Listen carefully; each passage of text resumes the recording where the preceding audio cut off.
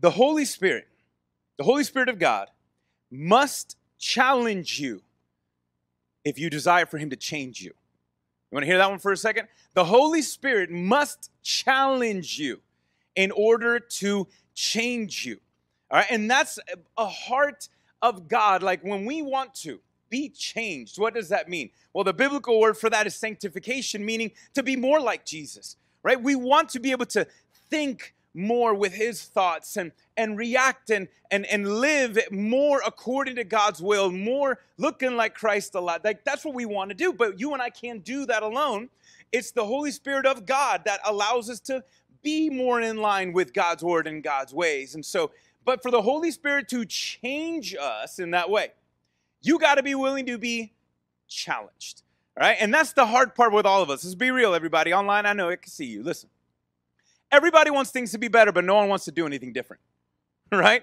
We all want things to be better in life. We want our marriages to be better, the country to be better, our finances to be better, our life, our spirituality to be better. We want everything to be better, but we don't want to do anything different, right? And that's the hard part. And so, guys, I know because I've talked to a lot of you over the last couple weeks, and you guys have felt attacked. Right. You felt attacked after leaving some of these messages as we've been talking about because we were challenging certain elements of, hey, let's let, let me challenge an aspect of, of what all these Pentecost moments have been. If you haven't been with us the last couple weeks, it's not going to make sense. You know, last week we challenged you on prayer, right? And making sure this is what prayer is and ought to be. And I wanted you to reflect. And so for a lot of times, I'm seeing the light bulbs and I'm seeing the conversations. I'm like, oh my gosh, all right. I didn't I didn't know that. I was like, I didn't realize that maybe some of my prayers were uh, more, uh, you know, they didn't not scriptural, but more traditional. But then I know that's the scary part, and this is why no one likes to be challenged because once you say, if I was kind of wrong about this, then what else am I wrong about? And then now you go into this crazy black hole. And uh, my prayer is that today you leave a little bit um, better all right? Because that's not my goal. My challenge is not to mess with your lives and just leave you in a, in a wake of carnage and wreckage. I don't want to do that. All right? But if the Holy Spirit is challenging you, let me encourage you. What if it's He wants to continue to change you? Because maybe there's some things, and I know it, me too, guys. There's a lot of things that He challenges me on, like saying, all right, look, this thing, chuck that, in order to kind of like refine what I know about God. And that's the thing that I want you to know. Even the things that we declare today, guys, you can know something, but you and I do not fully know it. The, all right, is God love? Yes. What does that mean? I don't care however you respond it, you are failing at describing the love of God and Him, Him as love. And so this is sometimes there's truth that we need to hold our nose in and go even further in and not and not settle because our, our our tendency guys even as believers but our tendency as people is to find a comfortable level and coast. Be comfortable and coast. But if you really want to see god do a work in you and through you you have to learn to be comfortable with being uncomfortable. All right? And so y'all ready? Keep going all right, because I'm gonna, I'm gonna challenge some of y'all's uh, perception on worship today, which we just did. But, but uh, guys, my my biggest thing is that listen, I know when you challenge, the enemy wants to take advantage of your confusion, right? And then this is where there's two paths that one I want you to avoid, one I want you to do. Um, there's a lot of Christians and people. This is a, a, term, all right. If you haven't heard it, I've said it before, but I'll say it again. There's a a negative term out there called deconstruction. I say it negative because I'm gonna tell you why. Deconstruction is something that happens in Christian circles, I mean, there are podcasts and books. I mean, it is, it's, it's like the hot thing right now, okay? It's really hot in, in, in Christian world is deconstructing.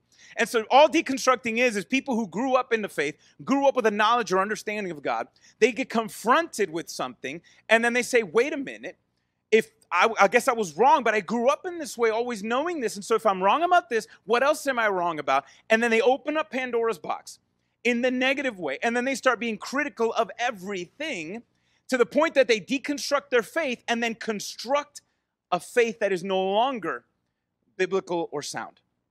That's the dangers of going on this deconstructing mode. You got to be careful. That's not my goal for you. That's not my heart. I had somebody who asked me, "Is Pastor Tito deconstructing?" Nah, bro. Okay, that's not it at all. Don't, because you know when you are if your love for the Lord if you're looking less and less and loving less and less like Jesus, that's a little bit. And when there's like traditional things that we've known to be true and confirmed to be true for generations, and you're like now doing something new, nah, be careful with that. But the thing is, is that deconstructing and sanctification sometimes look like the same thing.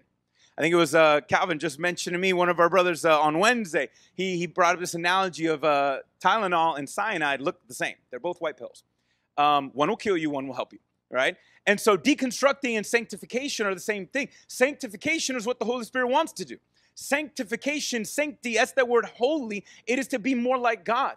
And in order for us to grow and become more like God, God is going to challenge us to stop doing the things that are anti Him. Does that make sense? And so, hey, the, the, your understanding may be good, but let's mature in that. Let's grow in that. And so sometimes you need to question. And it's okay to ask honest and sincere questions. The reason I say deconstructing is a negative term, guys, is because deconstructing actually has roots in uh, socialist, Marxist, critical race theory, and it's uh, the fruits are bad because the roots are rotten. And so that's why I, I want to warn you if you see anything like that. But again, deconstructing and sanctification start out with the same thing being challenged. One ends you one takes you further away from God, the other one becomes more like God. And this is why we all need humble hearts and a good community. It's very important. So, my goal is that's what happens to you. So, today we are going to look and examine what revival looks like and what worship looks like and what true revival looks like in a way that is continual and how you can fuel that. And we're going to do it by picking up where we left off in our continual journey of through the book of Acts. And so we're going to read Acts 19 and we're going to read 21 through 41. We're going to read it straight. All right? Because I want you to catch this narrative and get this big idea. So, so far we've been talking about Ephesus, what God has been doing in that city over 2,000 years ago. This is the third installment of some details. And even though we've only read um, about a chapter and a half, it's been about almost three years the time frame has been about three years that God has been doing something through Paul in Ephesus. So let's read, starting in verse 21. Let's read it all together. Online, we got you. Everybody, if you don't have your Bible, here we go. After these events, which is the events that we talked about last week, and again, it's been about two three years now, Paul resolved by the Spirit. So Holy Spirit was moving on his life. He prayed about it. He tested the spirits to confirm is this God? Is this not? And he came to the conclusion with other believers okay, this is what the Holy Spirit wants me to do. So he was going to leave Ephesus to pass through Macedonia and Achaia and go to Jerusalem. That's an interesting thing, guys, because Luke, who wrote the book of Acts, also wrote the book of the Gospel of Luke. And Luke climaxes with Jesus going to Jerusalem, and the book of Acts finishes with Paul going to Rome. Uh, and that's where he's going to mention now. He's going to go to Jerusalem. After I've been there, he says, it is necessary for me to see Rome as well. After sending uh, to Macedonia two of his assistants who assisted him, Timothy and Erastus, he himself stayed in Asia for a while. There's Paul again, bro. Paul, for him, the Christian life is always a team sport, never solo, always a team sport. Verse 23 About this time, when Paul was leaving, making preparations to leave, there was a major disturbance, a riot, okay, about the way. The way was the Christian term. It was a name that described Christians back in, in the time. The first word to describe this movement was called followers of the way. For a person named Demetrius, a silversmith who made silver shrines of Artemis, provided a great deal of business of the craftsmen. When he had assembled them, as well as the workers engaged in this type of business, he said, Men, you know that our prosperity is derived from this business. You see and hear that not only in Ephesus, but in almost all of Asia, this man Paul has persuaded and look at his word, misled a considerable number of people by saying that gods made by hands are not gods. First off, the irony of that sentence, right? If a god can be made by hand, then how is that a god? And doesn't that mean you're a god? That's a pretty cool superpower to make gods by your hands. And so that look at just the, the irony and just the silliness of that statement. So uh, this guy's saying that just because we make gods with our hands, they're not real gods. Verse 27. Not only, he continues, um, Demetrius is going off for the spiel. Not only do we run a risk that our business may be discredited, so who's he really caring about? That God or his money? Well, he's caring about his money. That's his God.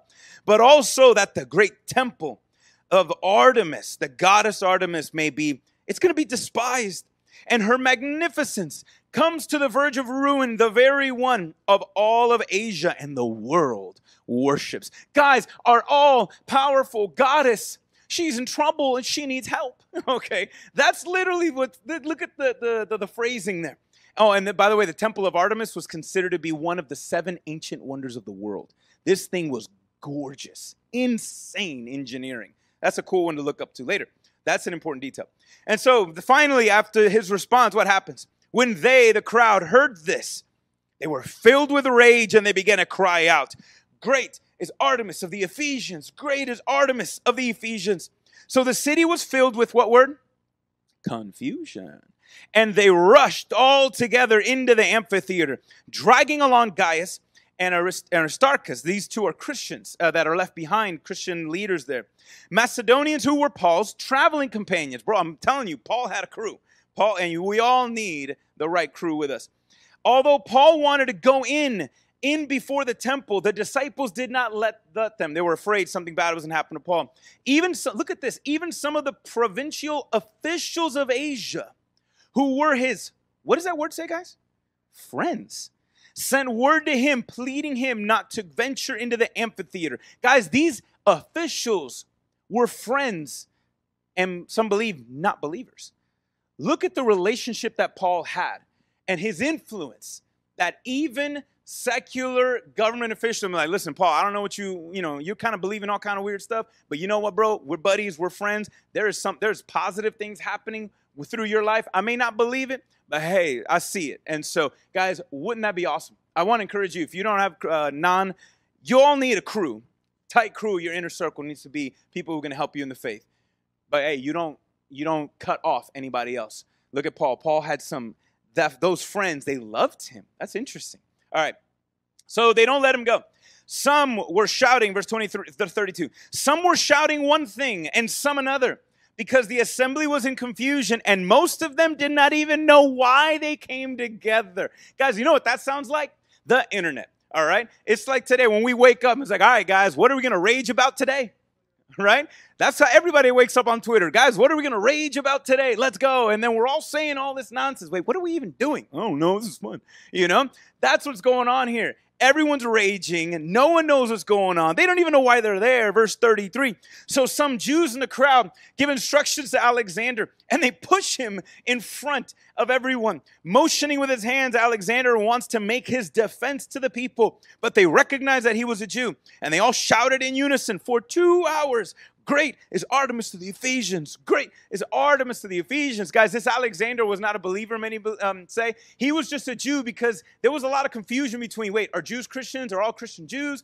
Because of this, Jesus was a Jew. And so, in essence, Alexander was like, guys, guys, guys, look, look, look, look, we're not on that team. We're not, we're not, but we're not Christians. And they're like, he's a Jew. Shut up, get him. And so, very little anti Semitic.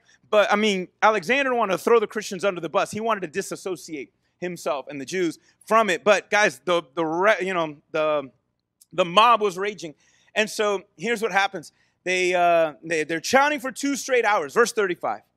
Then the city clerk, some consider to be the most highest ranking official in this town, he calmed the crowd down and said, "People of Ephesus, what person, what person is there?" Who does not know that the city of the Ephesians is the temple guardian of the great Artemis? And the image that fell from heaven.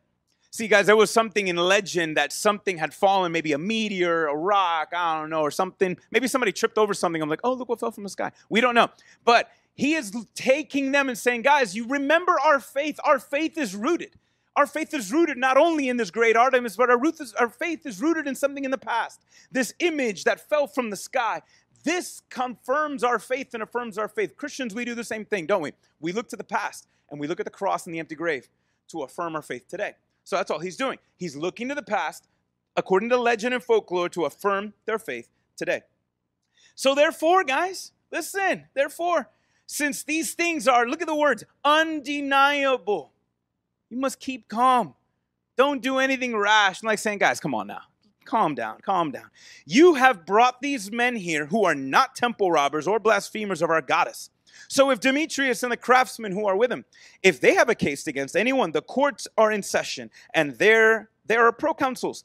Let them bring charges against one another. But if you seek anything further, it must be decided in legal assembly. In fact, we run a risk of being charged with rioting for what happened today, since there is no justification that we can give a reason for this disturbance. After saying this, he dismissed the assembly. Again, this would probably been something if you jumped into it on a morning devotional, you'd be like, great, out of all weeks. I really needed to hear from God today. And that's the thing that I got on my morning Devo. All right, I'm just going to go to John 3.16 and move on for the day. But guys, listen, I'm telling you, there's some beauty in this phrase. And again, Luke is not, Luke and the Holy Spirit doesn't mess around. This is one of the most detailed accounts of what happened in Ephesus. I wonder why. There has to be something why there because we've covered some things and it's been short. But when there is details, guys, let me just give you a good. Um, this is bonus. Every time you're reading the Bible and you're reading it straight through, and you catch a story where it feels like the author is slowing down by giving you details, that's a sign from the Holy Spirit saying, "Slow down. There's something here." Y'all following me? Slow down. When you see a narrative really expanded that means that there's something to be seen. Now, I love that the end of like, hey, we can't charge these Christians with nothing. They've done nothing, right? Same thing, guys. Listen, we have accusers. The devil himself, the scripture says, stands before God accusing us. But there is Jesus saying, uh, no, it's covered. I got it. Blood covered, done they're fine. And so, guys, I love that that reminder. And here, the reason why they had to get, get rid of it because Rome didn't play games. If you rioted, Rome came through and they brought the hammer down because if Rome loved anything, they loved peace. Okay? They didn't want to mess with anything else. And so they were like, guys, we need to calm down because if we really do this and we kind of go after, we could lose our freedom. And so they're like, right, yeah, yeah, yeah, you know, let's let's let's figure this out. Let's go another way. But so with that, guys, what can we see here? All right, first off, what do we see? We see the ramification and the result of the Ephesian revival that has led to a reformation. Guys, I want you to know that, and this is in Christian circles, we, we love that word, don't we? Right? We love revival. We pray for it. We ask for it. We seek it. We have revival meetings and tent meetings and revival prayer stuff. What does that mean? Revival just to me, means to be revived. That's all that means, okay? And so revival is a good thing. But we got to be careful because there's a it's very easy for revival to be an idol. Revival becomes an idol when all we're doing is running around chasing spiritual highs and feelings like spiritual junkies. Okay? We try to live our life on the mountaintops and we don't want to go down to the valleys. Know, you bring the experience of the mountaintop into the valleys, but but you got to be careful, guys, with that because see, a lot of times, you know, revival usually biblical revival is never these like fireworks, like just and bah, all this show and then gone. True revival does not happen in quick spurts. Revival actually is something that starts and lingers over time. True revival always leads to reformation. True revival always leads to reformation. By the way, if you ever, the day that you believed in Jesus Christ was your revival day. And if you are not the same since that moment, you know what happened? You experienced a reformation, right? So true biblical revival leads to reformation. And that's what we see here, right? Look at this, guys. This is an amazing detail that we see. Everyone, Demetrius was one, he was a leader. Everyone is upset. Why? Because what God was doing, not only in Ephesus, but in the world, was a threat to their political, economic, religious, and social traditions. Man, I mean, literally, the kingdom of God was just, they were just, you know, kicking butt, taking names, all right? And it was altering everything. And they were like, guys, we're gonna lose our business, we're gonna lose our culture, we're gonna lose this, we're gonna lose that. And and and that's the hard part, is a lot of times we look and see, well, well, we need revival. And so we look to, we, we put the cart before the horse and we try to, we want revival on, you know, uh, like, you know, the, the quick stuff, right? The shortcuts. And you know let's say we want revival in a nation and so we got to make sure we get political you know political people in there that are believers in jesus. Should we as christians? Yes. But you know i've heard it said many times revival doesn't start in the white house it starts in your house. It starts in the church house first then it starts in your house. But the point of revival is not to take over a country neither guys. Listen as christians our priority is not a country our priority is a kingdom. It's a kingdom that goes beyond a country goes beyond borders. It's different And so, but I love this. So, how do you see it? And guys, this is the uh, the epitome of true revival. True revival is always a grassroots movement. It is something that God does from the bottom up, never top down.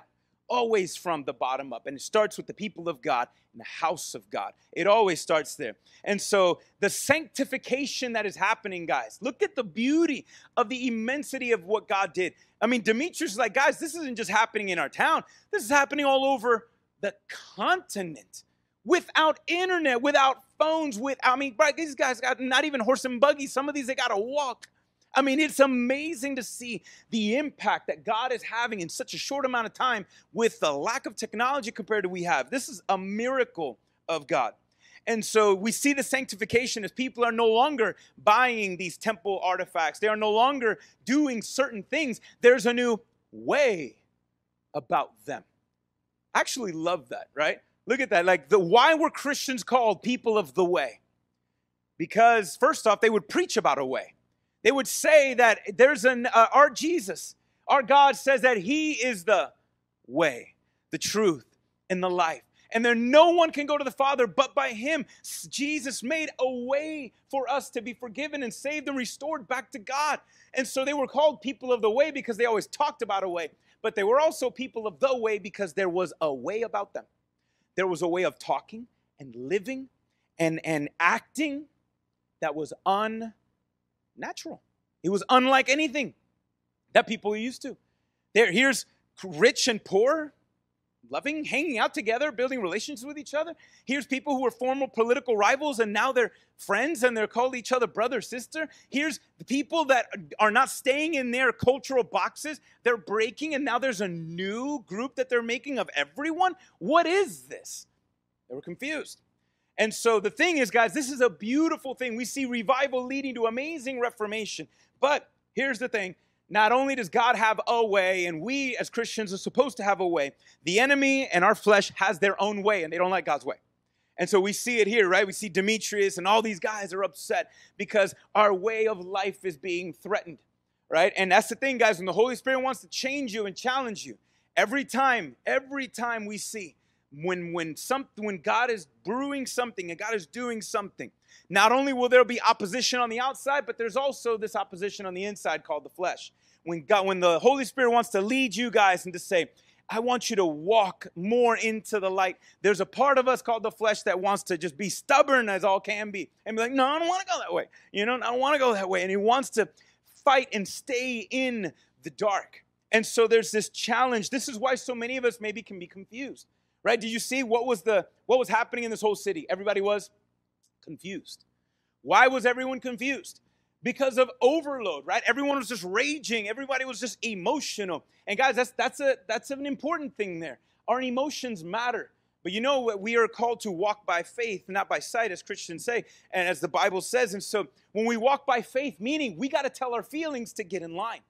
All right? There's some that you know want to like suppress all feelings and don't have feelings. No, no, no because all feelings can lead you to sin. Yeah, true. So can a lot of other things. But here's the thing when we walk by faith, it means that we got to allow even our, not only our thoughts, but learning to disciple even our own feelings to be, and they won't be perfect, but that's part of it. And, and the enemy loves us. When we're emotional, we tend to be irrational, right? I mean, anybody right there?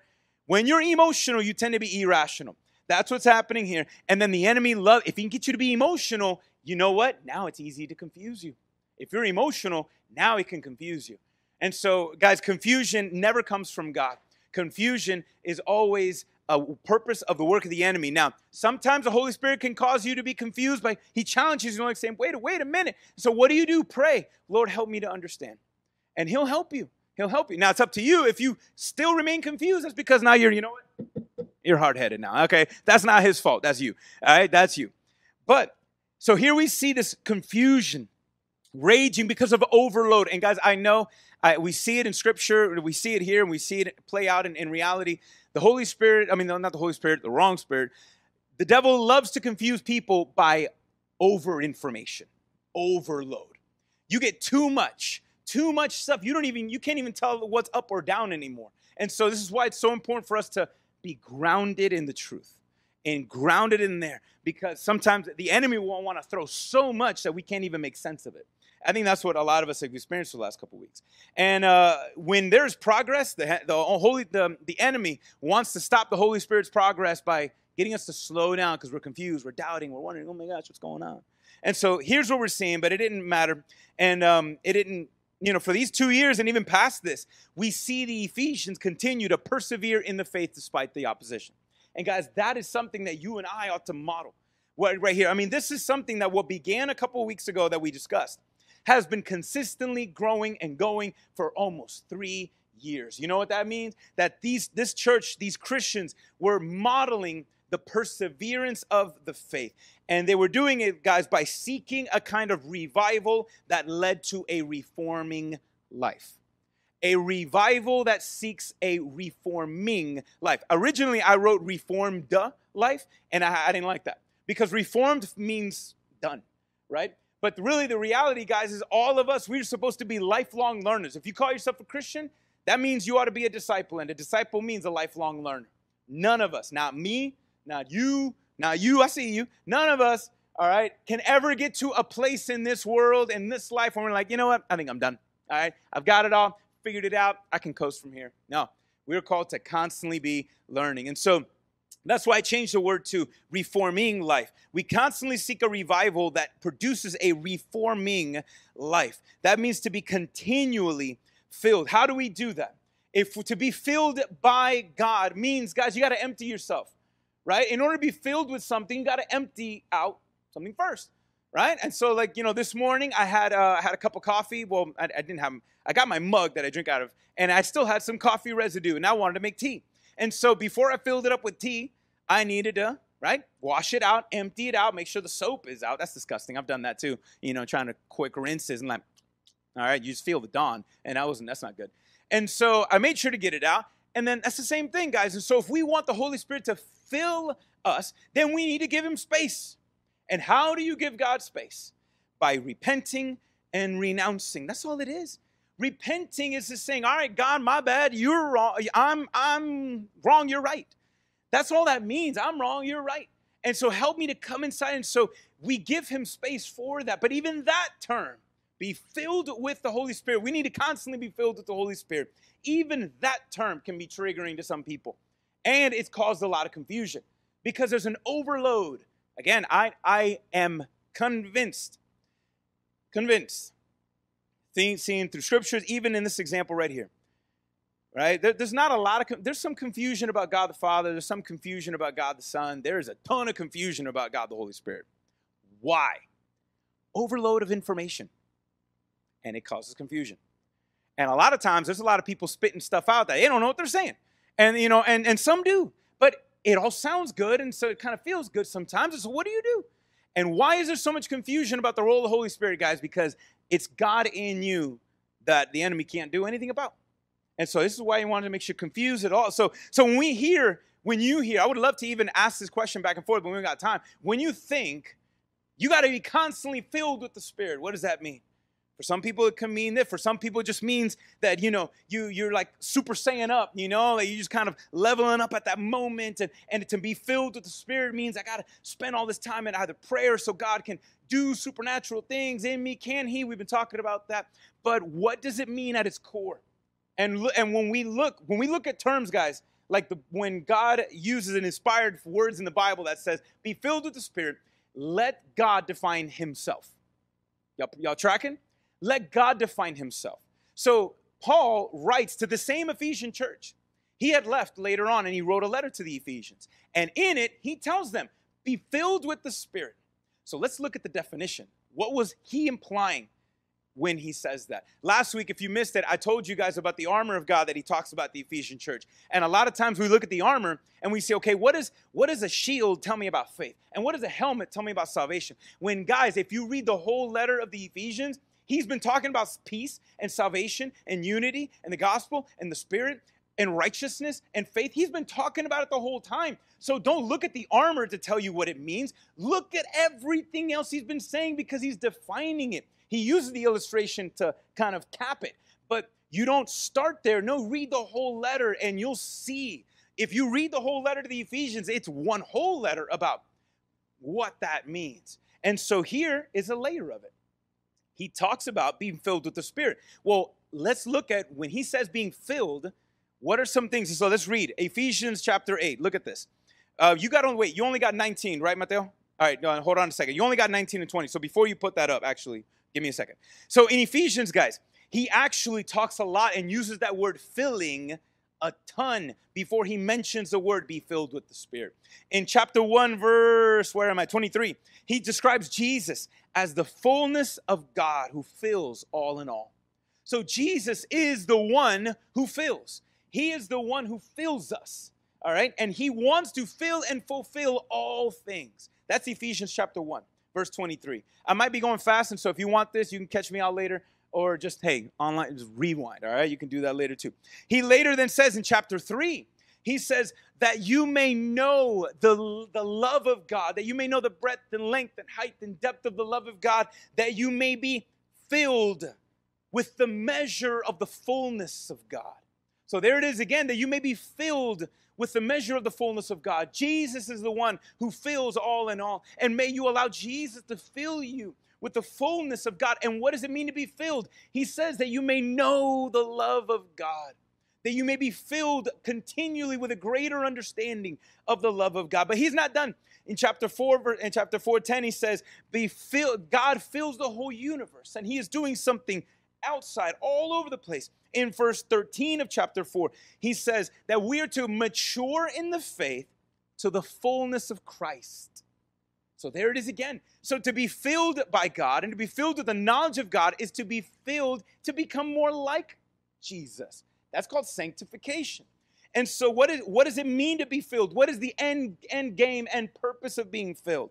And then in chapter 5, he uses the phrase again and he talks about light and darkness. And like, guys, we got to expose darkness. Don't walk in it, expose it, walk in the light. And he does this duality about light and darkness, being light being God's truth, darkness being everything else. And then he culminates with this light and dark. Don't be foolish into the dark. Be wise and walk in the light. And then in, now we can put it up, Matthew, in verse 19 and 20, or 18, right? Yep. He says, and, so that means the conversation that he's making prior, and don't get drunk with wine, which leads to reckless living, but be filled with the Spirit. We're going to stop there. Don't be drunk with wine, but be filled with the Spirit. It leads to reckless living. So here's that phrase filled up again. So did, did he just jump out of nowhere and now, hey, we got to talk about some of y'all liquor, liquor consumption real quick. All right. Is the focus on the drink? No, he's using it as an analogy. He's using it that. Now there's a good um, warning to that because, yes, we all know that kind of excess is not going to lead well. It leads to destroying your life, your liver, everything, right? And so it says it leads to reckless living. And what is reckless living? He was just defining it. Reckless living is living according to the ways of this world. Reckless living is, is living apart from God, apart from Him. And so, in the same way that when people get drunk and they live all kind of ways, that's what darkness does to you when you drink darkness, when you drink the lies of the enemy, you are not in the right mind. You're not in your own right mind anymore. And it leads to destructive living. But instead, be what? Filled with the Spirit. This is now why some people say, see, what you need to be is be drunk in the Spirit. Not, see, don't get drunk on wine, but be drunk with the Holy Spirit. And then now there's some, you know, I'm, I'm gonna step on toes. And now there's some that say like that. It's like, oh, now we know, oh, he has the Holy Spirit because he's, you know, you know, and now they're, oh, when you start acting drunk, now that's being drunk in the Spirit, flag on the play. All right? Is that what he meant? Is that what Paul meant? We're supposed to be out there like, you know, guys, I love you. Jesus love you so much. Yeah. This is not a verse that tells you to be drunk with the Holy Spirit that you just can't even control yourself. Fruit of the Spirit is self control, too, so yikes. Guys, he has been saying be filled with the Spirit. What? He's not saying something different. What He's just saying differently. He's just using a different phrase, but it's the same thing. He, the whole letter, he's like saying, Oh, that you may be filled, that you may be filled, that you may be filled with what? With God. Be filled with the Spirit. And then the next chapter says, And the sword of the Spirit, which is the truth of God. To be filled with the Spirit is to be filled with the knowledge of Christ. It is to know Him. It is to fill your mind and your heart and your soul with the nature and character and beauty of God to the point that you are now, in the same way that you drink too much liquor, you are under the influence, that you are consuming the truth of God so much that you are now under the Holy Spirit's influence, not the flesh.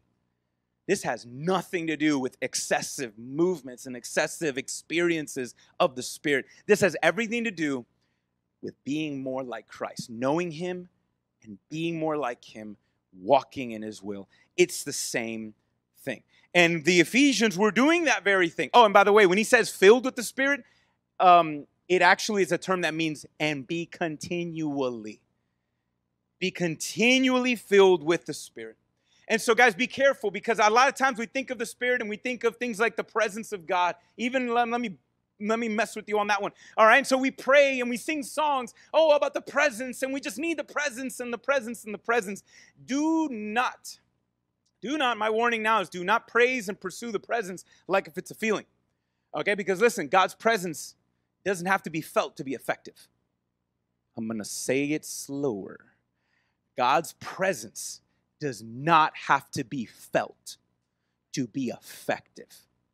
There's a lot of Christians who we try like we have to like press through until we now we're in the presence of God. Now we are.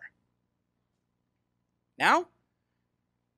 Or did you just kind of work yourself up into a mantra and now you're experiencing some kind of like, you know, nirvana faux spirituality? Because you just kind of like just spiritually hum until you get it and there it is. Be careful. Guys, the presence of God does not have to be felt in order to be effective. Because God says you guys can enter into the very throne room of God. Now, sometimes, sometimes, I ain't gonna lie, sometimes you feel stuff. I'm not saying you can't. But just, there's sometimes it's like until we feel it, we know it's not there. No, see. Be careful, be careful, be careful. Because that is not what it means to be filled. This means to be knowing Him, to be reflecting Him more and more. To be filled is to know Christ, to make Him known. It, to be filled with the Spirit, guys, is not to get more of God. Because if you are a believer, you have the fullness of God in you. If you have the, so there's a lot of times he says, oh, we just need to be filled with the Spirit because I need more. I need more power. I need more this. And so it's like you're trying to get more of him. No, you don't get more of God. If you're a Christian, you have all of it. The problem is that he needs to get more of you. That's the problem. Does he have you? And that's where repentance and that's where the, the, the discipleship and obedience comes in. Is does he have more of you? You don't go running and pursuing it to get more. No, you have it all. The thing is, we've been fooled, but we have we've been fooled. The Holy Spirit has filled us, but, but the, the whole, you know, again, there it is. Look at the confusion that the enemy wants to bring in. No, we have been filled, but too many Christians are fooled to think that it's, it's still out there. I need to get more. I need to get more. No, you need to give more. You need to surrender more to Him. And so, and, and it's not going to happen by, listen, there's no shortcuts. The only way it happens is by letting the truth of God in our hearts. But let's not be like this kid, because this is not how you know the truth. Can you put the video on? This is not how you know more of the love of God. You open up your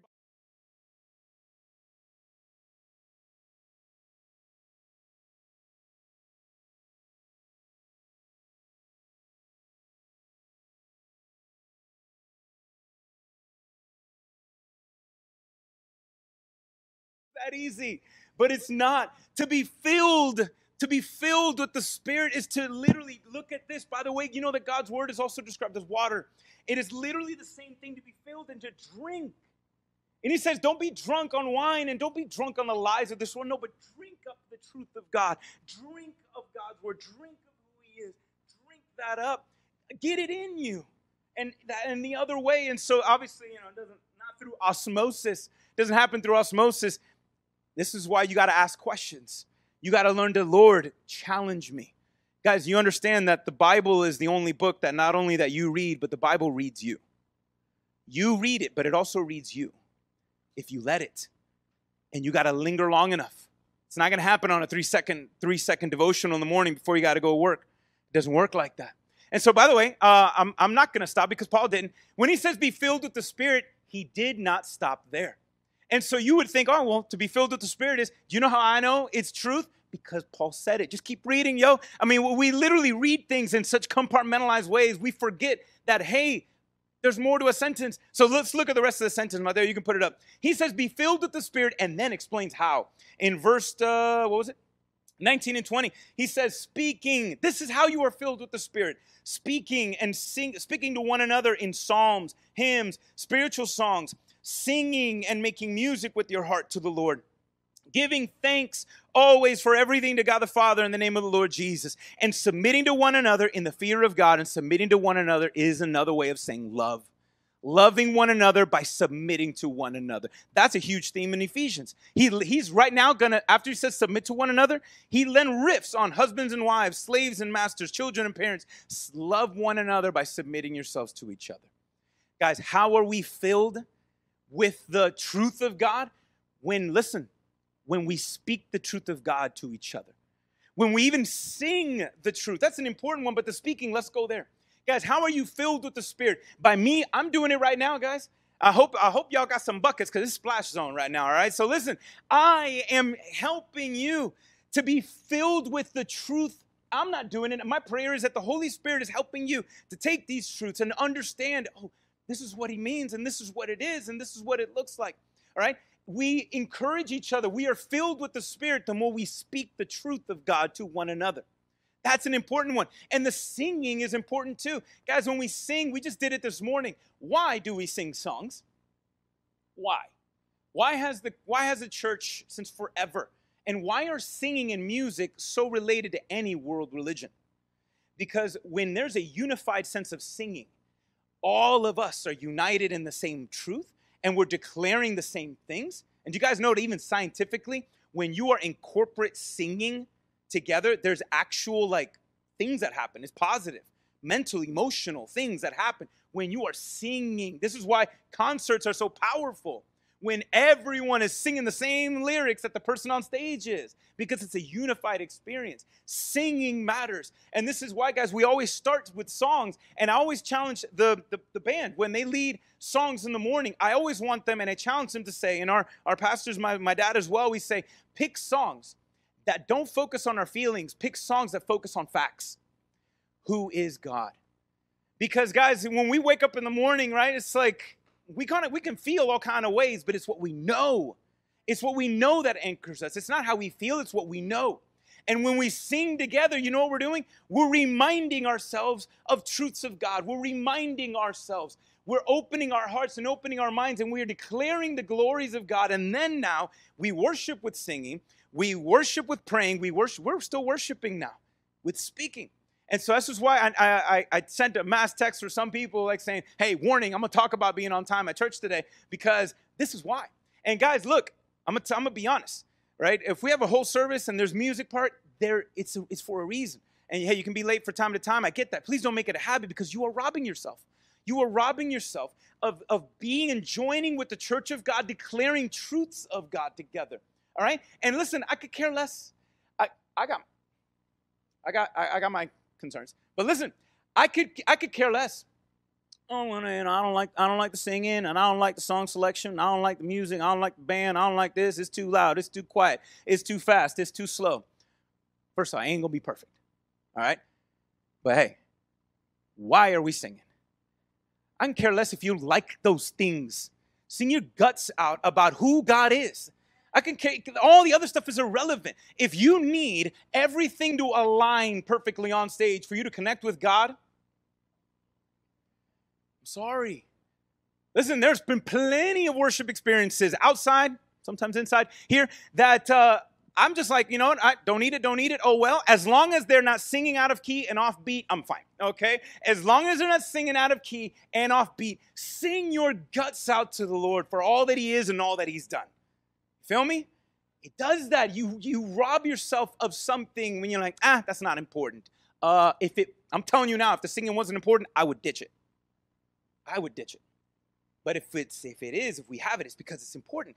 That is how we're filled with the Spirit. When we're speaking to one another, when we're singing together to one another.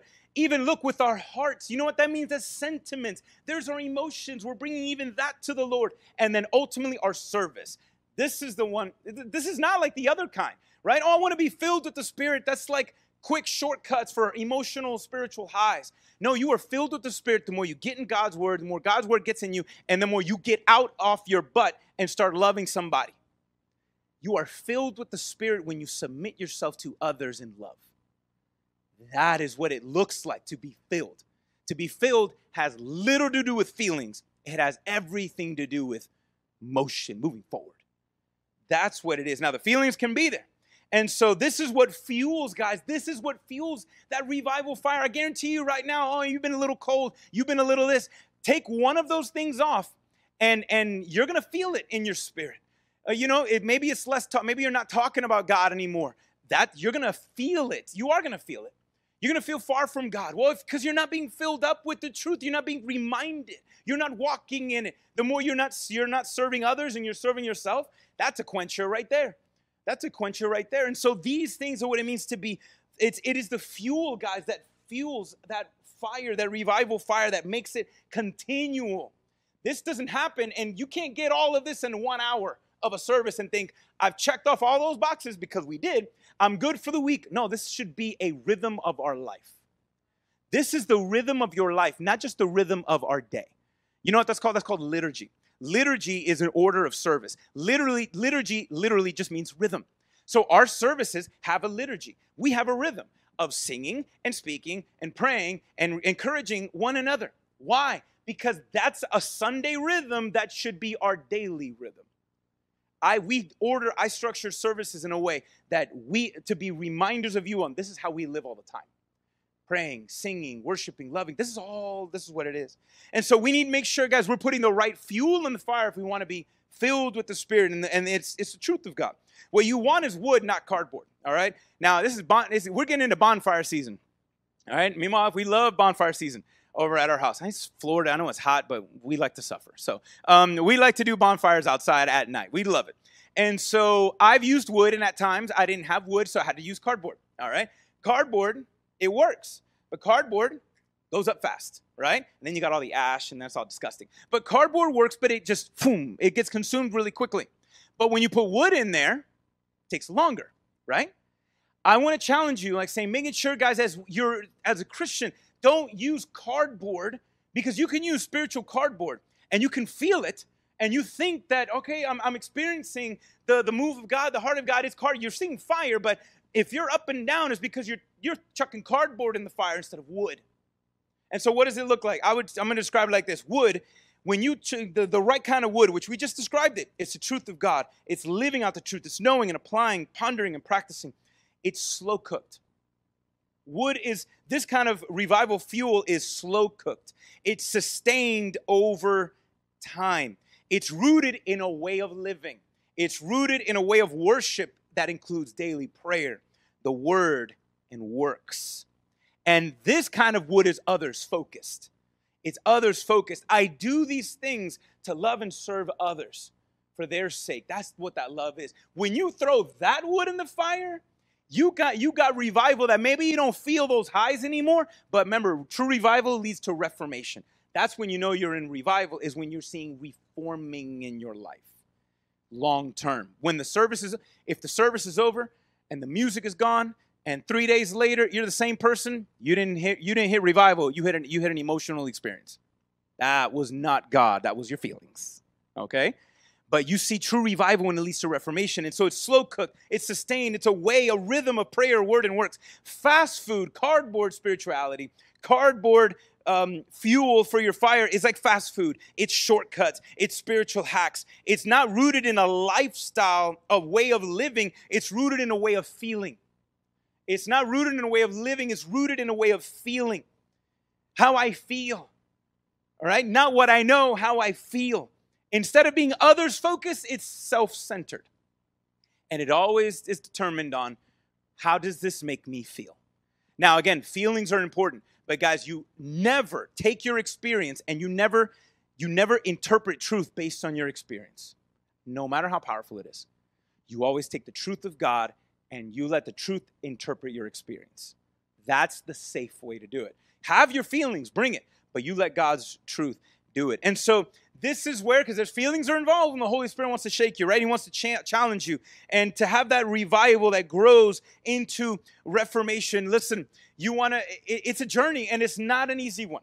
All right, because there's so many things in us that want to even fight God, and so you got to look at it this way. And, and we've mentioned this before. I've heard it said that the gospel is not the diving board into another pool. Sometimes it's that. It was like, all right, we're learning truths about God loves me. This I know. But that's just the diving board. I want to jump into the things of the Spirit. I want to jump into, away from this, into more things, into more power, into this, into that. No, the gospel is not the diving board. The gospel is the pool. The truth of God is the pool. That it's not just a pool, but it's like the ocean, right? I've never been in like out there, out there in the ocean, ocean, deep, deep. But I've been in enough places where I've had to, I couldn't see the bottom. Anybody? That just panics right there. You're just gonna die right there. You, I, you're you're fine as long as you see your feet. Am I am I correct? Anybody that lives in Florida, you're you're fine in the ocean. I'm fine as long as I can see my feet. If I can't see my feet, I'm backing up. All right. I need to see my feet. All right. Spiritually, we're like that too. But here's the thing. God is like the ocean, but is different. See, if you and I were dumped in the middle of the Atlantic, and I gave you some goggles, you can look into, you can see underwater and you're going to be able to determine, wow, that's deep. You can recognize there's depth, but you can't see enough to see the bottom, right? You can recognize that there's depth, but you can't recognize, you can't see the bottom. Guys, that is what it looks like to know God. Is to peer inside and see, look at the depth of the not look at the depth of the love of God, his patience, his kindness, his goodness, his faithfulness is so deep, but I can't see the bottom. And you never will because that is why he is God. He's God. He is his love is bottomless. His love, his patience, his kindness, his goodness, all of it is. It is deep and there is no bottom. And so what we need to do is not just just remain in the surface because the spirit wants us to go deeper into not into different things, no, into further understanding who we are. Anything that you may see outside of scripture if it doesn't be if it's not confirmed in here, chuck it, okay? It has to come down here always. And so you got to you just got to keep going. I can't see the bottom. Then just be like Dory. Just keep swimming. All right? Literally, just keep swimming. Just keep believing. Just keep reading. Just keep singing. Just keep speaking. Just keep serving. Just keep thinking. Just keep knowing. Just keep growing. Just keep loving. The more we just do that, then the more the Holy Spirit keeps changing us. It keeps changing us. We're not in the wrong pool. No, it's just got to keep going. To be filled with the Spirit is to do that. It is to he empowers us the same way equipment empowers a scuba diver. I've never done that. Anybody ever scuba dive before? I've never gone scuba diving. But what does scuba diving gear do to you? Huh? A scuba diving gear, it empowers someone who's not from the underwater world to operate and function in it. Am I correct? Gear, uh, scuba gear empowers an individual who is not, does not belong, it is not from the underwater world, and it allows them to operate and function in it we have been given all authority in Christ Jesus by the Holy Spirit Himself. Because when we're believers, Jesus now says, You are no longer of this world. You are no longer of this world. This is not your world anymore. You are made different. But the Holy Spirit allows us and empowers us to be able to operate and function in a world that we are not of. That's what the Holy Spirit is meant to do. That's what truth does. That's what the truth of God does. It allows us to operate and function in a way in this world, in this world that it, we are not of it anymore. If you're a believer in Christ Jesus, this is what, when we have authority in Christ Jesus, what does that mean? Because we've talked about it. It doesn't mean that we have the authority of Christ to do anything we want. No, we have all authority to do the will of God. We have all authority to do the will of God. And what is the will of God? To know Him and make Him known. And the more you dive deeper into God's word, listen, the more you will discern God's will and the more you will do God's will. When moments come up and happen, because I'm telling you, man, if we had all authority to do whatever we wanted, we would have fixed COVID in 10 seconds. We would have fixed COVID in 10 seconds. We would have fixed 9 11 in 10 seconds if we had all authority to even reverse time and to do this and to do that. It's funny because I mean I've seen it and we've experienced it where there's moments when we we're praying even with somebody who's manifesting a demon and we have seen that demon go and we've also dealt with people that demon don't want to go. The demon don't want to go because that person likes that demon too much. If I had authority, I mean like listen, it's stupid. I'm gonna I'm I'm going to cast him out for you because you're too dumb to you know you want to hold on to him. Let me help you. You know, I could totally do that, but no, I, we don't have the authority to do that. And there's some people that love the attention of being delivered. They don't want to be free. They just like the attention. If I had authority to fix that, we would. Guys, but we have all authority to do God's will. And authority means permission. And permission means that if we are walking in the light, there's nothing the devil can do about it. There's nothing he can do about it. But then what are we going to do about this? Like, guys, we need to do what the Ephesians did and also be careful what the Ephesians didn't do. And we're going to try to wrap this up in four minutes. What did the Ephesians do? Paul says in Ephesians 1, oh, your great love. You have, for your great faith and your great love towards one another. Keep doing it, keep going. They had a great love for one another. They were experiencing revival. Unfortunately, years later, many years later, they get another letter from another apostle called John. Revelations chapter 2 to the letter of the Ephesians, you've forgotten your first love. They were fueling themselves with the truth of God and the knowledge of God and serving and loving and serving and loving. And at some point, they cared more about being right than doing what was right. Guys, be careful because the more you grow in the knowledge of God, it is very, you, it, the more that you grow and the more that you know, it is very cautious, it is very probable that you can be very prideful. And you can be so like, I know what's right, and then you stop loving. And now you don't even do what's right anymore. The love, our first love, guys, is to love God. And how do we express the love of God? By loving others, loving His truth. So we need to do those very things. It, we can go up and down in our movement, in our growth. And so, and again, there's a lot of depth to these things. There's I wanted to challenge you about prayer and worship and even God using you, spiritual gifts. There's so much depth to this. And I can't go to the bottom for you. I can't. But I can give you one small little handle that hopefully here's the resolution. Here's the one thing that hopefully you guys are this can anchor you in your confusion. This can anchor you and when you're wondering about things so you're not deconstructing but more in sanctification. Here's a simple prayer from Robert Hawker. He was a Puritan from the 1700s. I love this prayer. Pray this prayer this week. Every time you're asking questions, keep this simple. He said, Come, Holy Spirit, and chill my affections to this world and warm them towards Christ. Pray that prayer when you're confused. Pray that prayer when you don't know what else to do. Lord, chill my love for this world and warm my love for you. Because the more God has your affections, your actions follow. Chill my heart towards the things of this world and warm them towards you. God, that is what worship looks like. That's what revive that is what reforming revival looks like when we constantly pray those things. And I want you to know that despite the opposition, despite the confusion, guys, we don't got nothing to worry about. I know, you know, let, us maybe compare Jesus with Artemis. The clerk comes up at the end and says, Guys, guys, guys, come on now. We don't got to worry about anything. Look at look at our goddess. Our goddess has uh, look at this temple. It is one of the great ancient wonders of the world. There is no temple like it. Where is Jesus' temple? Nowhere. You know, look at this. Look at in the past. We know it is undeniable how great our God is. And so, what do they chant all the time? Great is Artemis of the Ephesians. Great is Artemis of the Ephesians. Guys, we don't got to worry about this Jesus. We got Artemis. Fast forward, where's Artemis now? Where's that temple now? Gone, ruins. But where's Jesus? Still on that throne. Still on that throne. If the clerk could say, guys, we ain't got nothing to worry about. 2,000 years gives us proof to say, guys, if you're a believer in Christ Jesus, you have nothing to worry about. You have nothing to worry about because our King is still on that throne. Because we have nothing to worry, now we should just worship God and declare and grow in understanding great is Jesus of the Christians. Great is our Christ of the believers. Great is our Father of our sons and daughters. That's who we are. Great is Christ of the Christians. We have nothing to worry about. All we have to do is continue to submit ourselves, surrender, and He will do the job.